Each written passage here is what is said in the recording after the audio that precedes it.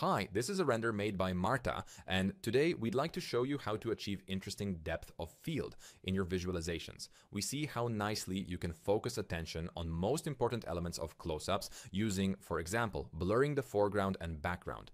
Here's what our scene looks like with the camera and model setup. The first step is to enable the depth of field option in the Corona camera. Next, we will adjust the view values. The elements intersected by the plane will become sharp in the render. Let's initially set the focus on the plant in the foreground. However, we see that the effect is not very clear yet. We need to increase the f-stop parameter, which is the aperture value. The smaller it is, the wider the aperture and smaller depth of field, meaning more background blur. Let's try entering the value 6.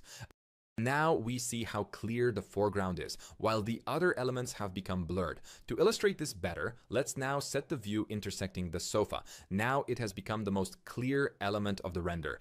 But we want to highlight the most important element of the picture, which is our decorations. Now we focus attention on them, while the rest of the assets are slightly blurred.